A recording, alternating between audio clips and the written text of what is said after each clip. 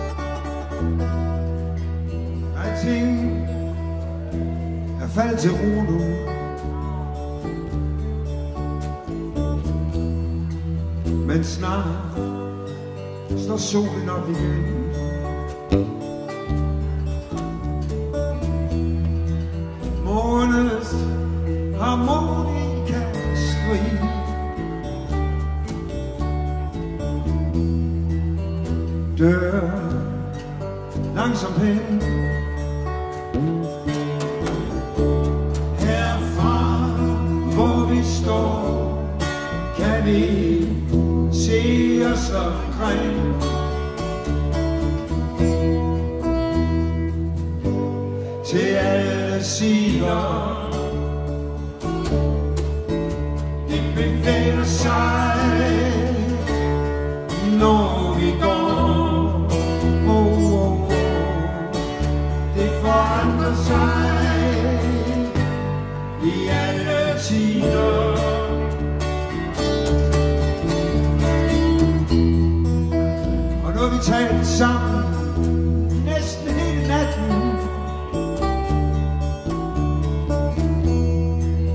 Ligesom om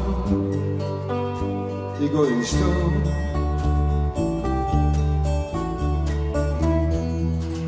Men rundt omkring ligger folk og sover.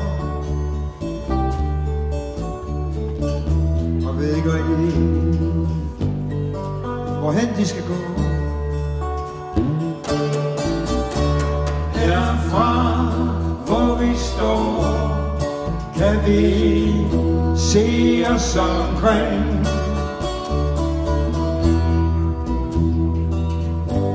Til alle sider, og det bevæger sig, når vi går. Det forandrer sig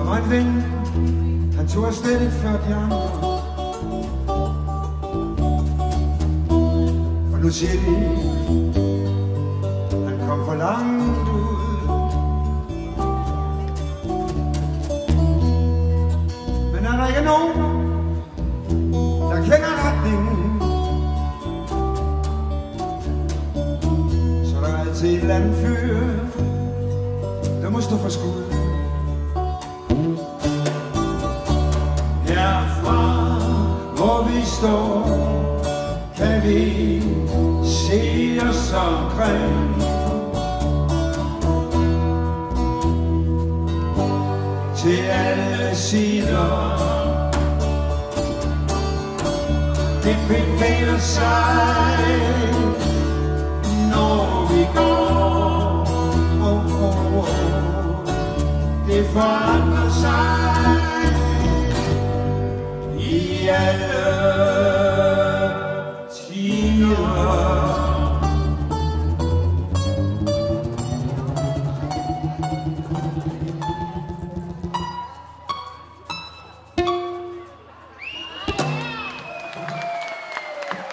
Så kom festen i gang herfra på scenen på Nemoland. Og det var Stig Møller, der introducerede Karl Lyne og Peter Ingemann akkompagnerede. Tak skal I have, og Og- og have takker. fortsat rigtig god fødselsdag. Tak. Tillykke!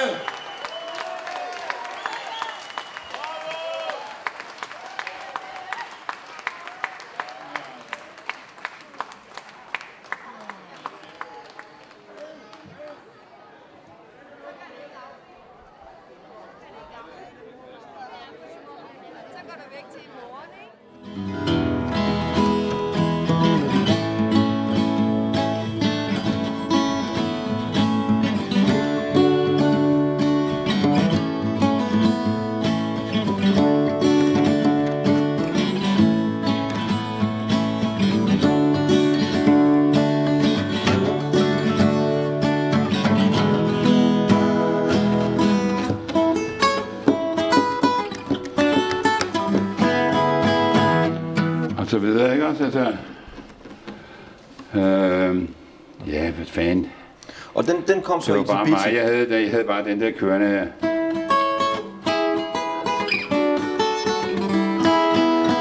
Altså, den vidste, skulle være ligesom øh, det, der startede nummeret op. Øh, Du skulle resten, det kom så senere ind med, med teksten. Men hvem var du Øh. egentlig inspireret af øh, rent musikalsk på det tidspunkt? Der? Mm, Ikke rigtig nogen, kan man sige. Okay. Det var bare øh, Øhm, det var tidens fri- musik, der kørte igennem. Jeg var frit svævende, ja. Okay. Jeg havde bare lige fundet på den der nedgang, der, så, så det er derfor, den kom med. Okay. Og så begyndte jeg ligesom det, der startede nummeret op. Ja. Øh, men, øh, Men det det, hele, sige, det hele er øh, lavet sådan, at så blev der lavet et vers, du ved nok. Og så tog Ejk med hjem, du nok, og så, så kom han tilbage igen, og så havde han lavet et par vers til, efter samme form, kan man sige, som det første vers der. Var, var han lige så elektrisk øh, som poet, som, som du var inden for musikken og sådan noget? Og med at skrive? Du, du lavede jo musikken og melodierne og så videre. Ejk var bare totalt øh, super sød fyr, du nok. Og vi hyggede os bare. Ja. Og så, så viste vi, så jeg prøvede jo mange forskellige ting af på ham. Okay. Og så kunne man så mærke, ligesom, hvad der passede, eller hvad der Hvad ligesom på virkede og så videre. Ind i den der tekst, du ved nok, altså hvilke stemninger, der ligesom skulle til for, for at det, man kunne se, sige det og synge det og, og gøre det rigtigt, du ved nok. Det, det er jo så det, der, der er vigtigt, når man laver en sang, det er, at det er naturligt du, at fyre ordene af, ikke? Ja. Ja. Men- Men, det, men- det sad vi jo testet jo. I, I var jo øh, pionerer inden for dansk øh, rock og rullepølse, altså rock and roll, ikke? Det var I jo. Men det var I jo nok ikke bevidst om, eller hvad? Altså, Overhovedet ikke, nej. og Vi tænkte ikke over det. I, I, I lavede bare det, som føles rigtigt. Altså. Vi lavede bare det, som vi havde, havde kunnet, som man var. Og så fik vi det til at virke ved at, ligesom at passe det ind. Okay. Fordi Kim Larsen blandt andet øh, fortæller i hvert fald i øh, Gasoline-filmen, at øh, den, den vigtigste grund til, at han begyndte at skrive på dansk, det var på grund af stabulerne.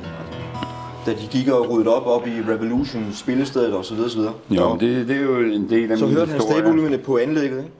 og så tænkte han, jeg skal skrive på dansk. Ja, Og men det var- det, det, er jo det, er det som, øh, som er vores historie, er jo det, vi var de første. Ja. Og vi var de første, fordi vi gjorde, hvad vi havde lyst til, uden at være afhængige af det, der var i forvejen. Ja. Altså, vi var ikke underlagt noget som helst. Og det var det, der gjorde os stærke på en Ja. anden måde. Det var det, vi gik vores egen vej. Og vi lå ikke under for en skid, du nok, og vi havde ikke nogen hængs på det, du nok. De måtte sgu selv om, hvad de ville lave alle sammen. Okay. Vi vil bare lave det her, du ved nok. Ja, fordi der var jo ikke meget, inde, der var ikke meget mere dansk øh, pop end, det var jo dansk toppen så. Men, Ja, så sker der jo det, at, at på grund af, at vi var de første, der var ude. Du må tænke på, at der gik jo fandme 20 år eller mere, før den plade begyndte at sælge. I Danmark. Øh, Den første, det var et oplag på 300 plader, som røg ud til, til de nærmeste venner. Og, Ja, hip, hip-pladen og der. der var ikke nogen, der syntes, det var noget særligt, det var nok øh, i og for sig, da vi fyrede den af. Øh, men så senere hen, så lige pludselig vågnede hele scenen jo op, og nye generationer kom, og de alle sammen gik agurk på den der skide plade, og alle forretningsmændene, de blev som hajer, der var nok, de gik i frenzy.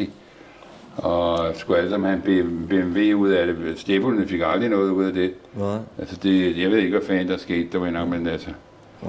der var alle mulige folk, der tjente penge på, på, på, på vores kreativitet, men øh, vi fik aldrig noget af det selv. Og selv i dag bliver der trykt øh, vinylplader med hip-pladen der, Ja, og, så, som du ikke har hørt om, før du får det ikke en vide. skid, du nok, øh, om bagdøren. noget som helst. Og så kan man så sige, okay, det er vi også ligeglade med, for vi har aldrig nogensinde været inde i det her for pengenes skyld. Og vi var heller ikke herinde i det for at blive berømt eller en skid. Vi har aldrig haft nogen øh, fysisk, øh, materiel ting kørende på det. For os var det en, en åndelig ting, simpelthen øh, alt, hvad vi lavede. Og det er jo det, der sikkert gør, at man kan sige, at, at tingene har deres ægthed og levedygtighed ud over alle grænser simpelthen bare. Det er fordi, de, de er renhjertede, ja. og der er ikke nogen bagtanker forbundet med det overhovedet. Ja. Øh, det, vi har slet ikke nogen ting omkring sådan noget gab. Det, det, det var tilhører noget andet. Det var noget, det ikke noget med os at gøre. Nej, nemlig. Nej, nemlig. Så, Og det vil sige, at lad os lige se en gang. Så øh, hvornår, hvornår indspillede I pladen? Var det i 67 eller hvad? det var 67, ja. Og det tog tre dage eller sådan noget? Øh, Ja, jeg havde en pladekontrakt med, med Metronom, Ja. og de ville jo godt have, at jeg skulle være dansk topsanger. Så Søge Olsen havde de sat på mig, og jeg kunne ikke fatte, hvad han ville. Han lavede Kjell Silverstein og lavede alt muligt gab. Men det sagde mig ikke en skid, du mener. 25 Okay. minutter endnu, og hvad så, du mener. ah, Så okay. der var ikke rigtig noget, øh, der tændte mig overhovedet. Og ja, så ikke jeg, vi gik jo og lavede det der, de der numre der. Og det tændte i den grad på mig. så vi tog ud til Metronom, og så plagede vi simpelthen, vi plagede dem i tre måneder, eller sådan, bearbejdede vi hele befolkningen derude, alle dem, der arbejdede derude, og Ben Fabricius Bjerre, han blev plaget. Hvorhen øh, var det? Ja, på Metronom ude i Storteavej. Ude ved i Nordvestkvarteret? Ja. Og så endte med til sidst, at på grund af vores total vedholdenhed, ja, så blev de nødt til at overgive sig. Okay. Og så fik vi tre dage studie. Sjovt. Vildt. Og de tre dage, der lavede pladen. Og du, det var simpelthen fordi, at du havde en kontrakt med dem. Ja, det Og var så- min og så- pladekontrakt, ja. Og så, og så fik du, øh, hvad kan man sige, overtalt dem. Jeg fik tvunget dem til at overgive sig til os. Okay. Og vi var jo så skide søde, du ved nok, og flinke, og I gik og serverede kaffe for Charmerende dem, og, og gjorde, hvad fanden vi kunne for fedt os ind, du nok. Men altså, det lykkedes til sidst. Det lykkedes. Ja, Og det og var, ja der sker så det, at vi kommer ud der om morgenen, og så kommer der også nogle italienske ægtepar med, med deres unger, du mener, og der kommer nogle andre også. Så pludselig var der sådan en lille flok af hippier, der var samlet derude. De kom så ind i studiet og lagde deres ægte tæppe ud på gulvet og lavede indianerlejr. Og så gik der fuldstændig panik i Ben Fabricius og alle de der folk der. Så de låste os bare inde. Så, så når vi var der, så kunne man ikke komme ind. Man kunne ikke komme ud, der var bare lukket af. Okay. Og så, øh, ja, så mellem, når vi havde lavet en indspilning, så var der lige fyret en chillum. Og så var der sådan et vindue, man kunne lukke op, og så stod vi der omkring de der vinduer, og så blæste vi røgen ud af det der. Og Luftede lidt ud. luftede lidt ud, ja. Okay. Og ja, så spillede vi, så gik vi bare i gang. Og det var ikke sådan, at vi... Der var ikke nogen bagtanker med det. Vi gik bare ind, og så 1, 2, 3, 4, så Ja. kørte lortet. Ja. Og så blev det indspillet med alle de bøffer, der blev lavet, og hvad fanden ved jeg. Men, men det vil sige, I havde ikke arrangeret alle numrene og sådan noget? Øh, Ja, vi tog bare en af gangen, der var og en af gangen, så gik ind og lavede en af gangen. Ja. Og altså mellem, mellem hver nummer, så fyrede vi lige en, en bombe chillum ud af det der vindue der, og så lavede vi det næste nummer, og det gik bare stille og roligt. Der gik en, en dag med det, så vi indspillet alle numrene. Der var kun otte numre jo, så det gik ret hurtigt på den måde. N- ja, og, og det var så efter, at øh, dig og Erik Skalø selvfølgelig var hugget op med øh, Preben Devanché, trommeslager, Nå, ja, og Søren Søren Sejrup ja, på, på bas, på bas, ja. som Søren Sejrup, som du fortalte mig på et tidspunkt, også var god til at lave riffs og sådan noget. At Søren, Så han, han, øh, var, han var han- han var totalt fucking beautiful Ja. øh, i den periode, selvom han, han var selvfølgelig en, en led stodder også. Okay. Men uh, han er også fucking beautiful. Og det må man sige om Søren Sejrup, at jeg har aldrig nogensinde fløjet højere op med andre end med Søren. Søren og mig, vi kunne altså tage stratosfæren, du mener, og så derud af okay. galaksen. Og okay. der var altså ikke et øje tørt. Og Preben Devantier, han var så skide god til at holde, holde os på, altså man snor i os, du var ligesom to balloner, der bare fløj ja. Ja, som du Og- stadigvæk spiller med. Ja. Øh, så det var, det var, jeg oplevede nogle koncerter, Okay. så man tænker bare hjælp. Der var en, en kunstmaler, jeg, jeg blev udstillet på Frederiksborg Slot et billede, så jeg var deroppe og se det. Og så var der en anden kunstmaler, der havde fået en medalje, for den havde lavet et billede med Erik Skalø på og så videre. Okay. Og så kom han hen, og så sagde han, at han var så ked af, at vi ikke eksisterede mere, fordi han havde været inde og høre vores koncert i nogle af de der, hvor vi fløj afsted derudad. Og han havde aldrig hørt noget, der var mere fantastisk. Okay. Og han synes bare, det var så synd, at de nye generationer ikke fik lov at opleve det. det synes jeg er meget, meget sødt, ikke? Så, Men, men, men det er meget sjovt, fordi at, øh, det, det sagde Kim Larsen jo om dig.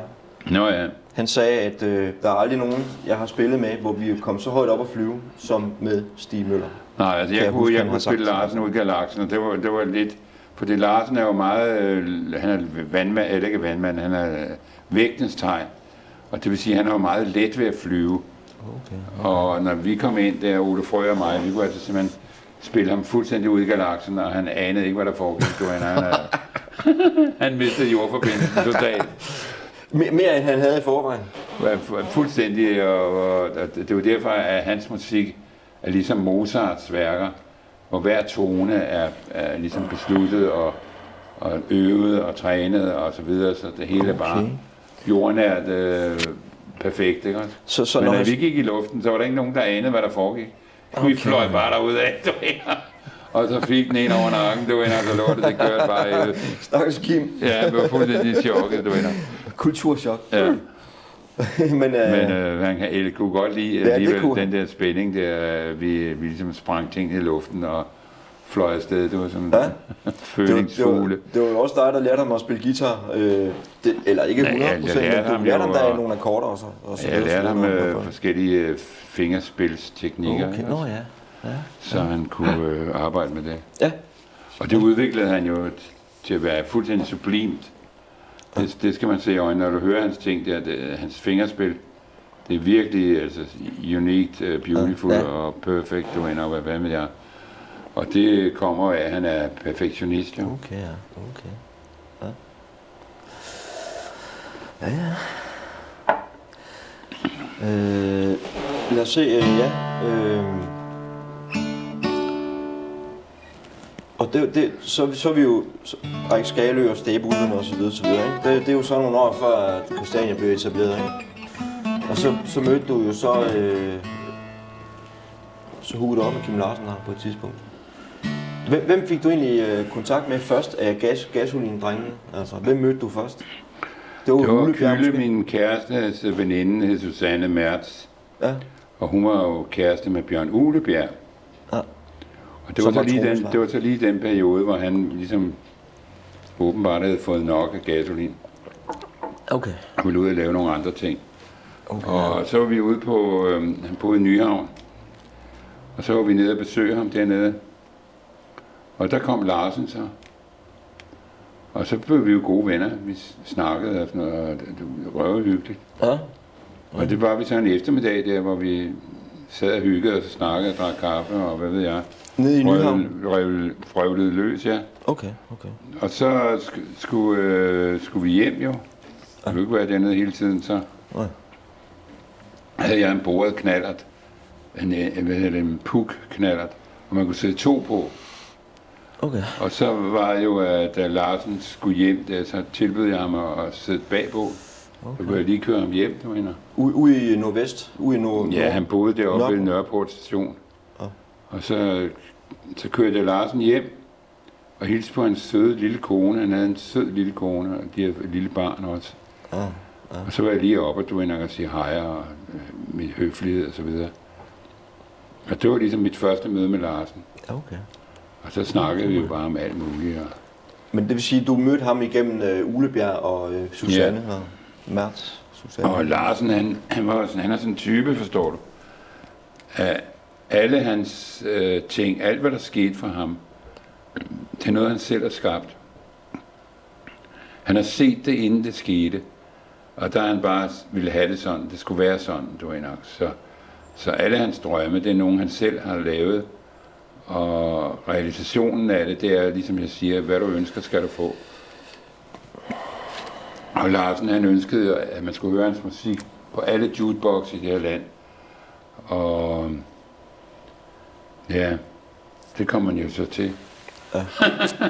Ja. Så ligesom hvad Larsen ønskede, det skete bare, du mener, der var ikke så meget.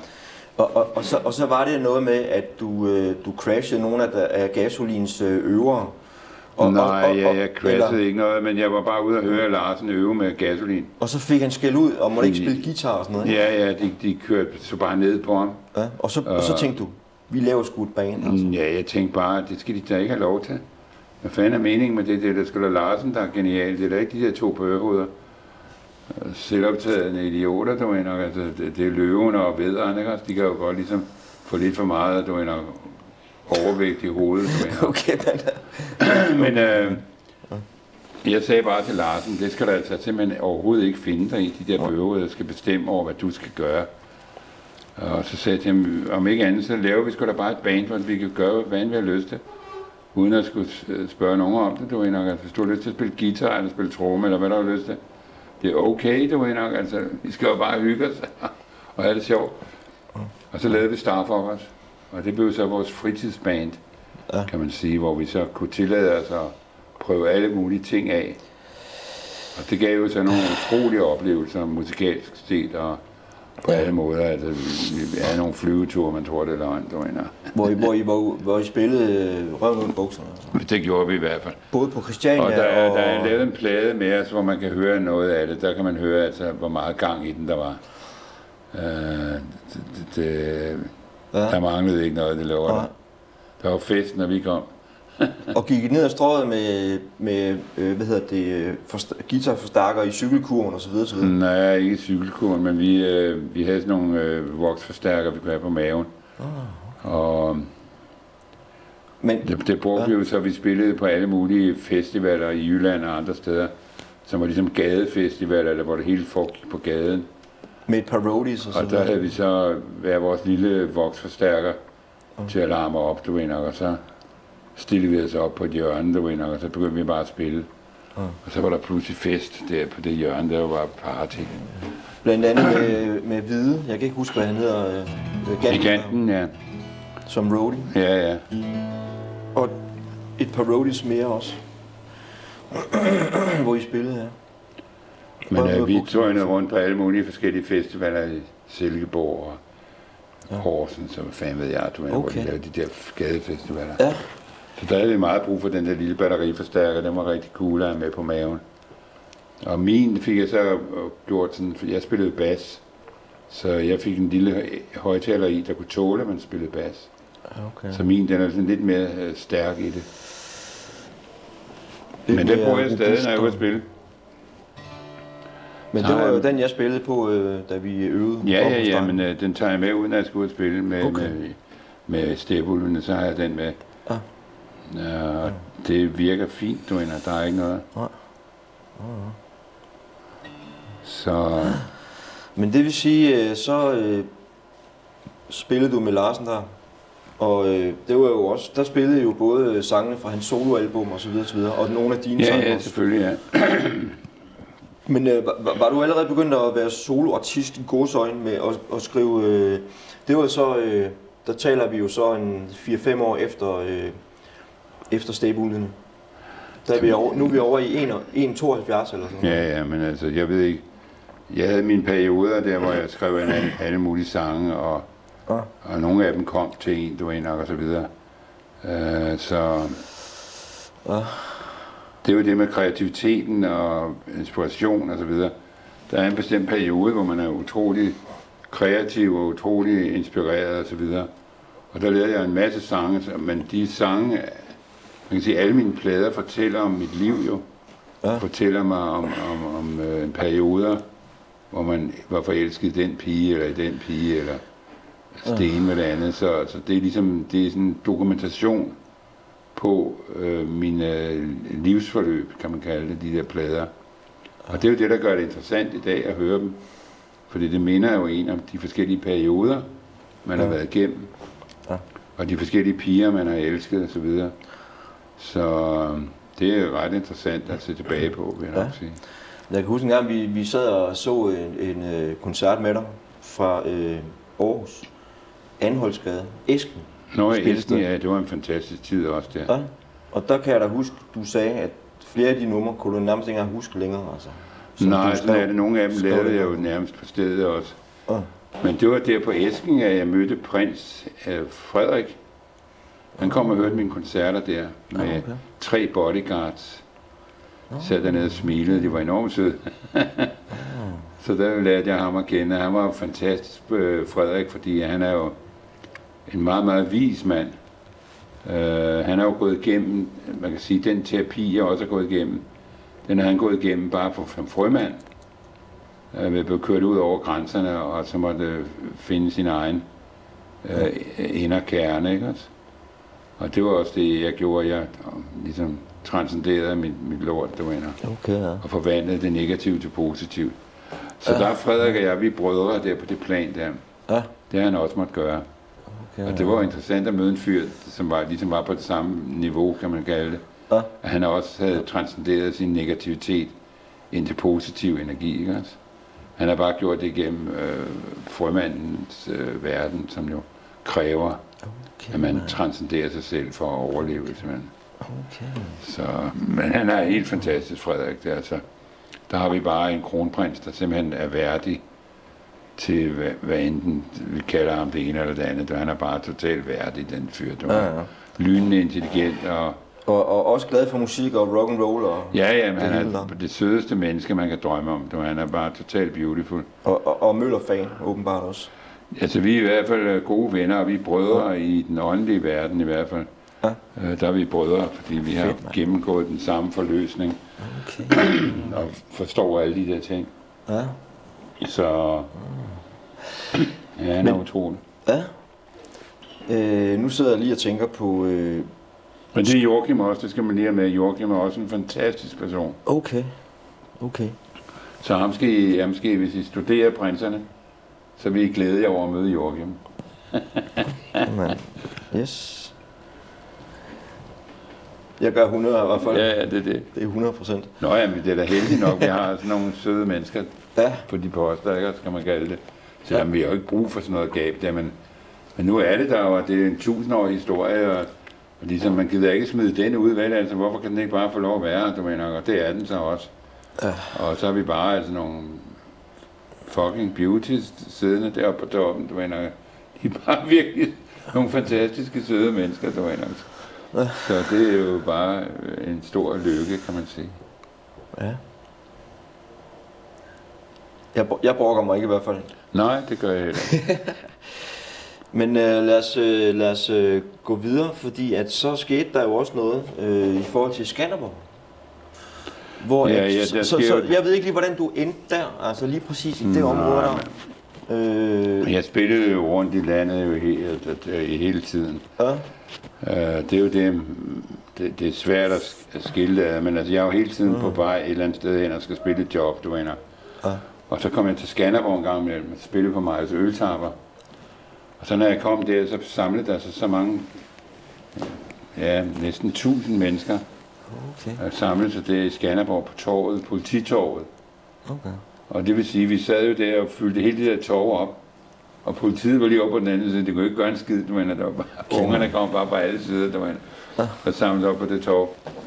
Og så var det jo, at øh, det var fint nok, der var nok. Jeg gik så ned og spillede mine koncerter, og folk var helt vilde, og det hele var cool. Og så skulle jeg så op i pausen, og så skulle vi lige ryge en joint, du mener. Hvad, hvad årstal er vi øh, over? Ja, det kan jeg sgu ikke huske, hvornår det er. Det, det, det, Et eller andet sted i 80 eller sådan noget, et eller andet der. Ja, jeg går ikke så meget op i de der årstal, men, men øh, det kan man undersøge, hvornår Skanderborg Festivalen blev skabt, ikke også? Så kan man regne ud, det året før, Okay, jeg sidder på torvet, ikke? Ja. Og den der situation bliver lavet. okay. Men så sker der det, på grund af alle de der unger var der, på grund af hele den der fest, der kørte afsted på det der torv foran politistationen. Ja. Så øh, sad vi der med, med JP og hans venner, og så sad vi og snakkede og røg en joint. Og så blev vi enige om, at det kunne være fedt at have et andet sted at være, fordi der var jo så mange mennesker, og lige foran politistationen, du mener, det var sådan lige over kanten, ikke? Så det der meget øltapper, der kunne ikke være mere end 100 mennesker nede i det der rum dernede. Men de blev presset ned. Ja. Og det var ligesom... På værtshuset vi- der. når der var sådan en stor forsamling af folk, ja, så var det ligesom, så ville det være fedt at have et andet sted at lave koncerten. Og så sad vi der øh, og røg den der joint, og så kom skoven på tale. De har en park der. Og så var øh, vi tænkte, det kunne være fedt at lave den nede i parken dernede, Okay. øh, fedt, altså, så vi kunne spille Mm. dernede. Ja, ja. Og så sker der det, så, så, så går der et par år, og så ringer de jo til mig, og så vil de godt have, at jeg kommer over. Ja. Ja. Og så øh, kommer jeg der over til Jylland og bor til, hos Lilland, en veninde jeg har, og, på hendes bondegård, og så pisse regner det bare. Og jeg var der over en uge før festivalen, og det regnede bare fucking hver dag, døgnets 24 timer, du mener. Der regnede det bare helvede til. Så jeg havde lige været på yogakursus, og der havde vi så arbejdet med at, at materialisere det, at man fjerner skyerne fra himlen og sådan nogle meditationer. Og så om aftenen der, så lå jeg jo der under halvtaget, der, eller under, op under loftet der, så lukkede jeg øjnene, og så mediterede jeg på, at når jeg skulle spille, så skulle himlen være blå, så man kunne se solen ovenpå, du venner. Og den lavede jeg så hver aften, inden jeg gik i seng. Var nok så lavede jeg sådan en hallo der. Nå, og så kom vi så hen til festivalen der, og, endelig. Og det pisse regnede bare. Så var der ikke noget hegn. Men det var et lille lavt hegn. Der var sådan nogle små nogen, var inde, men man kunne hoppe hurtigt over. Men der var ikke noget med stort hegn eller en skid dengang. Da jeg stillede den ene fod ind foran, så holdt det op med at styrtregne. Da den anden fod kom ind over, ja, så var det bare sådan noget drøb. Så da jeg kom op på scenen, så sagde jeg til folk, jeg spiller først, når solen skinner. Så siger der bare, hele himlen lukkede bare op. Og så var der blå himmel, og min yogalærer stod dernede, han var ved at dørke ind. Han var godt klar over, jeg havde været på kursus, ligesom han også havde været. Du. Okay, mand. Fedt. Så pludselig så var der blå himmel og solskin, der var fuld gang i den, og så spillede jeg min koncert. Nå, det der så viser, hvor dum jeg er, det kommer så senere, fordi så, da jeg var færdig med min koncert, som selvfølgelig var en stor succes, alle var lykkelige og glade, og det hele var bare juhu, juhu, juhu. Så kommer Møller, du ned, så lille hegn der, stiller den ene fod ud foran, så begynder det at drøbe. Kommer den næste fod, så styrt regner det. og så ja, du mener, jeg går op for mig, hvor dum jeg er. Fordi jeg kunne lige så godt have forestillet mig, at, det hold, altså, der var solskin til hele festivalen. Altså det ville koste det samme. Nu havde jeg bare ligget der hver nat og lavet halvår på, det kun var, når jeg spillede, der skulle være solskin. Ja, fucking idiot, det var en Så det måtte jeg æde, den der. Men uh, det, det viser jo, hvor dum man kan være. Ikke? Altså, Men uh, Ja. rent universelt, der ville uh, verden have været ligeglad med, om det havde været det ene eller det andet. Altså det, det var bare min forestilling, som blev materialiseret. Ikke? Ja. Men jeg kunne lige så godt have forestillet mig, at der var solskin i hele festivalen. Og det gjorde jeg så de andre år. Der lavede sig en halo på, at det var solskin under hele festivalen, og det var der så. Ja, fedt, mand. Så, så det hele var cool, okay. det var nok. Men, men uh, den første der, der, der bøffede jeg i den. Ja. Fordi jeg, jeg havde været på de der kurser, så jeg var sådan optaget af de der ting der.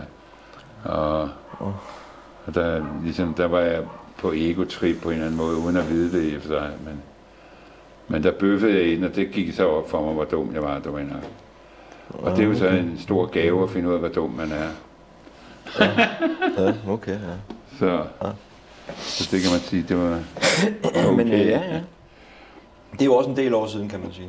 Det er det jo, og jeg skrev den der Skanderborg sang, de har et eller andet sted, jeg ved ikke, jeg kan ikke lige huske den mere, du nok, men altså, jeg skrev en sang, hvor, hvor jeg beskriver den handling der, øh, med solen ovenpå, du nok, og hvad ved jeg. Ja. Så der ligger en sang på deres internetside, sikkert, hvor man kan høre mig synge den der Skanderborgs sang, jeg lavede til dem. Ja. Men der sker jo så det, at lige pludselig, du ender, så laver de om på alting. På min 30-årsdag der, øh, så laver de om på alting. Og det vil sige, at jeg kan ikke finde Ruts kaffe. Og jeg kommer jo bare ned for at møde Rut, du mener, og få en lille kop kaffe og sidde og sige hej, du mener, hvordan går det?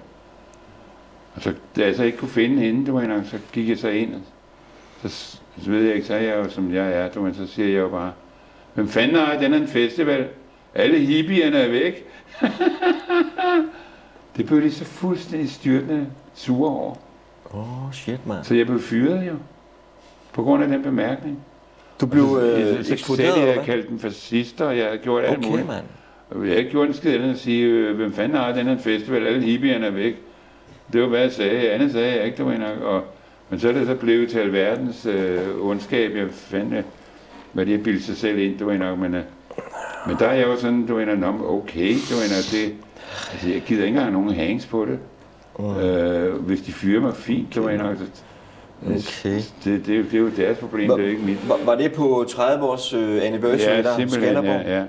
Okay. Så det, det var sådan lidt underligt, du ved, at Så- behandle så- på den måde. Så var Men det var nogen, bare der... den bemærkning, der, hvem fanden har den her en festival? Alle hippierne er væk.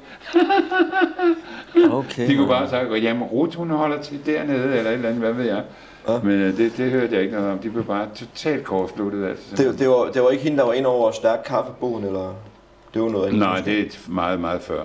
Ja. Men øh, nej, hun, hun havde bare sådan ude foran pladsen der, øh, hvor folk gik ind. Ja. Der havde hun sådan en kaffebod, og man kunne gå ind og få en kop kaffe af hende, og hun var bare skide sød. Så det andet var det ikke. Okay. Øh, og jeg havde ikke nogen bagtanker med noget af det. Jeg ville bare godt finde ud af, hvor fanden var henne. Men har du så Men- været der siden, eller hvad? På Nej, nej, det har jeg ikke. Jeg blev fyret jo. Ja. Der fik du lige... Øh, Ja, der, blev var ligesom, der var, der var min tid forbi. Og jeg ved ikke, hvem der, der ligesom overtog det der øh, trip der, men det viser sig jo, at det blev, det blev alle sådan nogle forretningsfolk Ja, og ja, kontorfolk, det og hvad ved jeg, der Det var der i 91-92 eller sådan noget. Der kan Ja. jeg huske, der kom hegn omkring Ram Jam og sådan noget. Ja, det er det, jeg mener. Det blev meget plut- organiseret lige pludselig. gik det fuldstændig agurk Ja. Med, med alt det der med penge og sådan noget gab. Desværre. Men øh, Desværre. Jeg mener, det er, det er jo ligesom som det altid har været, at der, der er en grænse for, hvad jeg er med til. Øh, Jeg er ikke med til alting, og, og det er også okay. For det, der er så meget bullshit, du mener, at jeg gider simpelthen ikke hoppe rundt i det. Nej. Nej. Det Så når, når det, når Det det er de her typer, der overtager det, så, så værsgo, du Så mener. bliver det småfascistisk lige pludselig. Ja, så er det bare ikke mig, du mener. Spekulation, altså. Ja, det, det ved jeg så ikke noget om, men jeg ved bare, at det er ligesom, at naturen sørger for, at jeg ikke har noget med det at gøre. Jamen, øh, vi er ved at sige farvel herfra efter en hyggelig dag. Og jeg var ude hos øh, Stig Møller i forgårs, eller var det i går, hvor vi snakkede i fire timer omkring det her interview her, ikke? og vi hyggede os, og det har vi så også gjort i dag, heldigvis. Øhm, og sikke en dejlig dag det er i dag, og sikke en dejlig dag det bliver på øh, søndag den 26. Christianias 50 års fødselsdag hvor øh, Stig Møller han spiller kl. 10 om formiddagen på Nemoland, sammen med Grav Lyne og måske Peter Ingemann på bas. Og øh, Ingemann spiller med Young Flowers om aftenen også, øh, med orkestret der, Young Flowers, på Nemoland også. Hvem ved, måske i skumringen. De øh, kæresteparne står og holder hinanden i hånden, og der bliver skænket stærk kaffe, og folk får en god ryger osv. osv. Lad os se, hvad der sker. Det bliver en skøn dag. Skøn dag. Stig Møller øh, lavede det her nummer øh, for mange år siden. Øh, det var vist noget med, at han øh, arbejdede i en børnehave. Og passede børn. Og da han så øh, kørte hjem efter øh, at have været på job, så, var, så vejede han kun et gram, fordi han havde været sammen med de små unger der, og så kom melodien flyvende. Og den har du vel spillet et par tusind gange siden. så lad os tage den.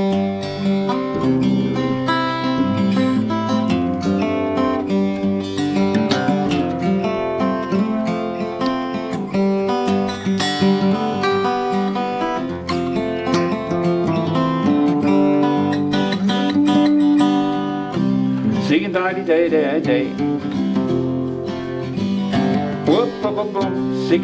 dag, det er i dag.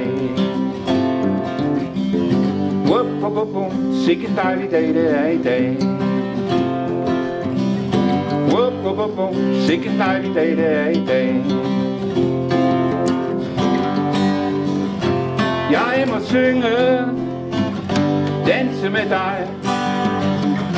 Er noget inde i mig, der siger, livet også er en leg. Ja, yeah. sikke en dejlig dag, det er i dag. Wup, wup, wup, wup. Sikke en dejlig dag, det er i dag. Wup, wup, wup, wup. Sikke en dejlig dag, det er i dag. Wup, wup, wup, wup. Sikke en dejlig dag, det er i dag. Solen, der skinner for dig. Selvom du i mørket ikke så, er du varmt på vej. Ja, yeah. sikke dejlig dag, det er i dag. Wup, wup, wup, wup. Sikke dejlig dag, det er i dag. Wup, wup, wup, wup. Sikke dejlig dag, det er i dag. Wup, wup, wup. Sikke en dejlig dag, det er i dag. Giv alle børn på runde jord kunne elske deres far og mor. Alle sammen nu. Sikke en dejlig dag, det er i dag. Sikke en dejlig dag, det er i dag. Whoop, whoop, whoop. Sikke en dejlig dag, det er i dag. Wow, whoop, whoop, whoop. Sikke en dejlig dag, det er i dag. Verdens vanvid. Nej, hvorfor dog det? Jeg elsker livet, og det er det, jeg vil. Aller sidste gang. Sikke en dejlig dag, det er i dag. Oh yeah. Whoop, whoop, whoop, whoop. Sikke en dejlig dag, det er i dag. Whoop, whoop, whoop. Whoop, whoop, whoop, whoop. Sikke en dejlig dag, det er i dag. Whoop, whoop, whoop, whoop. Whoop, whoop, whoop, whoop. Sikke en dejlig dag, det er i dag. Ra-ba-ba-ba-bam-bum. Ru-ba-ba-ba-bam-bum. Ra-ba-ba-ba-bam-bum.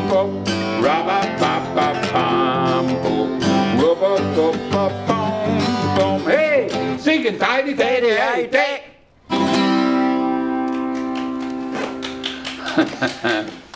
Husk det, den 26. september, Christianias 50 års fødselsdag, det bliver en dejlig dag.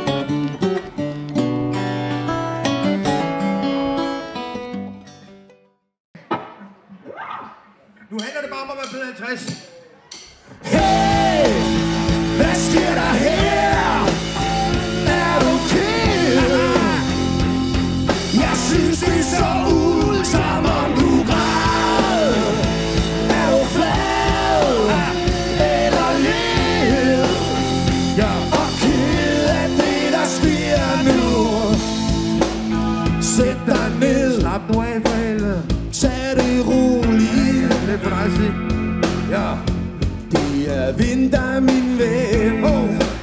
Sæt dig ned. Tag en kølig. For det bliver sommer Jeg igen. er 50 år gammel, men lever plet og negle svang Stiv i hele kroppen, når jeg vågner, det er en kamp at komme ud af sengen Kom at få sokkerne på, op ad bakke, blive gammel John Forladen og hvor kan ikke præstere uden to af de blå. Kan ikke pumpe jern mere, for det lugter for ondt. Da jeg var ung, var jeg har med flest vægtskiver på. Nu jeg har der synes 40 kilos bag bækpres er for tungt. Det var dumt. Hey, hvad sker der her?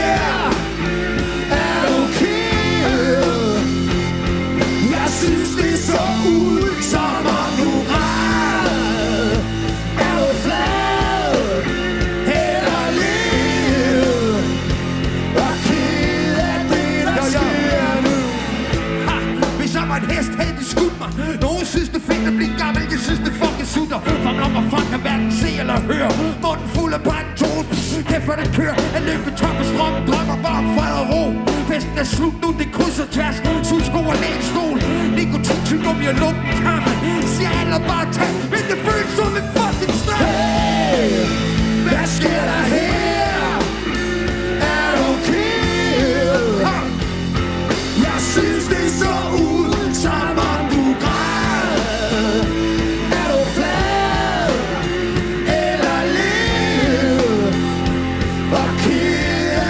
Der sker nu Rejs dig op, mand mærk vinden Åh ja Ja, det er samme min ven. Rejs dig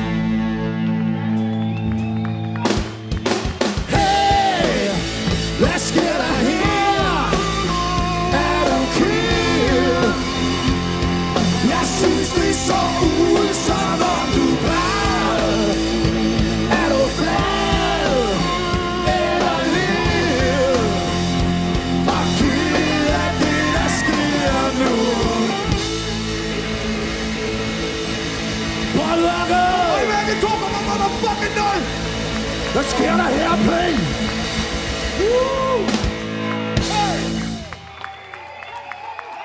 Nå ja. Nå. Sindssyg, sindssyg.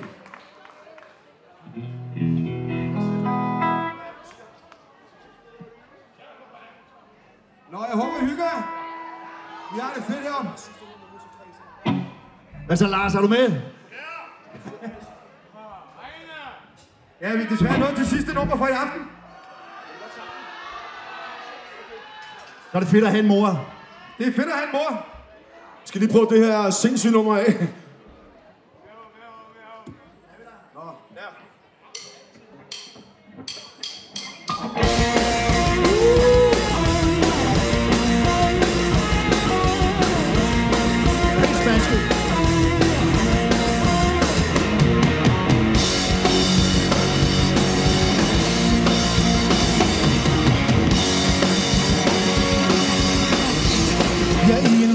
Så sindssyg. Er i en verden så vild. Jeg har jeg købt mig en pistol. Så jeg kan sprede ild er i en verden så smuk. Er i en verden så stor. Men der, Jeg er den ende, der bliver glemt. Ja, så er det fedt at have en mor. I en verden så syg, i en verden så hård. I en verden så kold, fyldt med vold jeg solen står op. Til endnu en flok. Ja, til en verden,